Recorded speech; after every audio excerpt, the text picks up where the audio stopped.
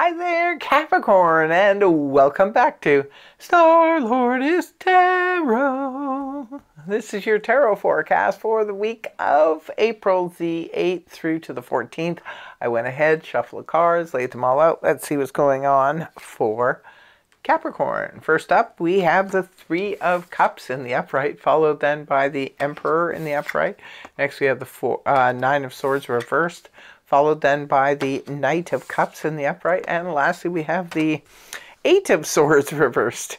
So your overall energy is the Three of Cups, Capricorn, in the upright position.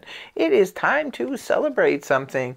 There could be something coming up for some of you, perhaps this week, an important uh, celebration. Could be anything from celebrating perhaps somebody's uh, marriage. This could be like a, a small wedding. It could uh, indicate a bon voyage party. It can indicate uh, attending a, um, a, baby shower or a uh, engagement party or anything like that, or even a small get together with a small group of friends. Sometimes the Three of Cups can come up for that. It's a simple, um, but yet really. Um, you know, uh, fun event. It's it's something that is pleasant. It's three of cups, so it's something that makes you feel happy and uh, really good on the emotional front. Keep in mind, sometimes the Three of Cups can indicate a level of gossip around. So maybe something's going on with that. Maybe there, you're going to be hearing some juicy gossip at a get together. It could be, like I said, a work situation too. It could be a bon voyage party for somebody who's leaving, or maybe you're leaving. Um, whatever's going on here, it looks like it's really pleasant. And those emotions tend to last. So whenever this event is or whatever happens here, it seems like it it's it makes you feel warm and fuzzy throughout the whole week. So it has a lasting impact. Right at the beginning of the week, we have the Mars ruled energy, um, the Emperor. It's Mars ruled associated with the sign of Aries and um, Scorpio. Interesting because of the Aries uh, new moon, the solar eclipse is um, would be on that day because this is for the 8th. Um, yes, as a matter of fact, join us for the podcast. Okay, I usually say this at the end of the video, but I'm going to say it now because I mentioned it. Uh, we will be having a live uh, podcast on the 7th, Sunday at 6 p.m. Marie Moore, the astrologer, will be joining us and we will be talking about all of this um, solar eclipse um, hype and everything that's going on. So we're going to be discussing that. And so it should be an interesting show. We're going to have lots of fun. So come and join us and uh, be part of the live chat or just be in the audience and watch it all go down. it should be a really interesting and good time. So getting back to the Emperor in the upright, this Mars ruled energy, there is something powerful in the air on the 8th. There is something going down. It could be, sometimes the Emperor can represent power and authority. That's why I'm saying something powerful is going on. You could be dealing with a powerhouse of a person. Sometimes the emperor, who's known as the sort of like the patriarch of the family. Uh, this could be representing your own father, grandfather, or father figure in your life. This person could be um, stepping in for some reason. Um, this could also represent perhaps a boss or some other powerful person that could be wielding a lot of control. Sometimes we can step into the energy of the Emperor, and maybe it's you, Capricorn, um, feeling like you need to keep control over something on this at this time. So this is all about power and control. If there's a person in uh, who's in a position of power and you should need their assistance or their help in any way, especially if it's a government official or something like that, you need to deal with a serious matter. Definitely do not hesitate to uh, go to the top, go right to the top of the food chain and deal with the power, the powerhouse that is the emperor. So hopefully you're not dealing with a super controlling person, but you could be dealing with extreme uh, powerful situation that's going on here. And maybe you need to keep, or you feel you need to keep control let us know in the comment section below, okay? Please, please, Capricorn, you guys are great at the comments. I love it. Keep it up. Next card you have is the Nine of Swords in the reverse position. Well, this is about coming out of a period of anxiety, high anxiety, maybe sleepless nights.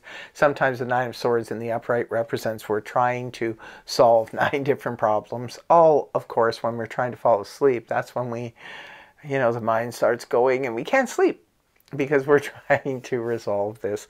Sometimes this can be coming up, trying to come up with nine different solutions for one problem whatever the case may be, it looks like that's coming to an end because the Nine of Swords is in reverse now, indicating you're releasing that energy. And it comes right after the Emperor. So it could be that this person, maybe going to the top person, was the right answer because now this person maybe steps in, helps you to resolve a situation, and now you can finally get a good night's sleep. Makes a lot of sense, right? Okay, moving on towards the weekend. We have some really nice energy here. The Knight of Cups in the upright position. This is the Knight in Shining Armor.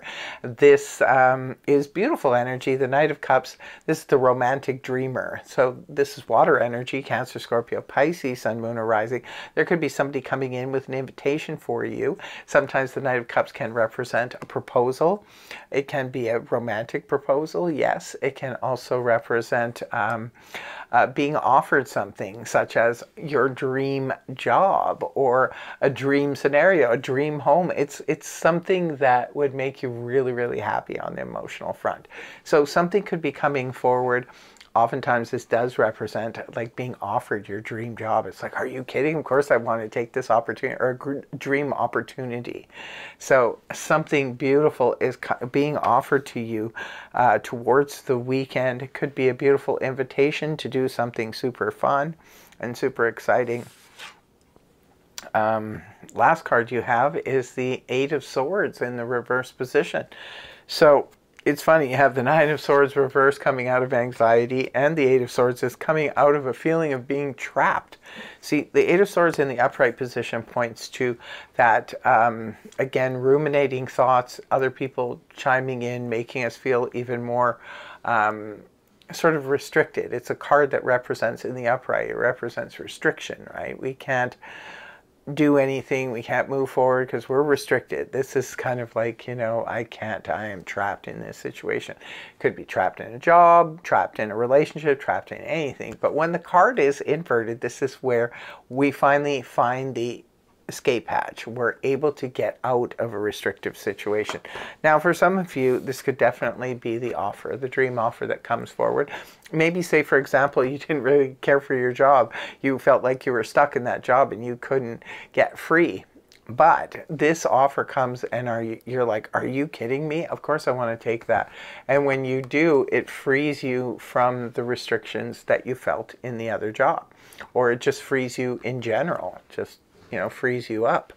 So beautiful, beautiful energy. This is a pretty good uh, reading, actually, Capricorn. Nice to see it for you guys. I really love this uh, three of cups being the central energy. That indicates you have something definitely to um, celebrate. And this is not bad either. And seeing the Eight of Swords and Nine of Swords reversed for you is even better. So I hope it resonates for each and every one of you. Looks like a fabulous week. Thank you so much for joining me, and I really hope the reading helped you. If it did, please feel free to like, share, and subscribe, and I will see you again in the next video. Take care. Much love. Namaste. Bye-bye for now.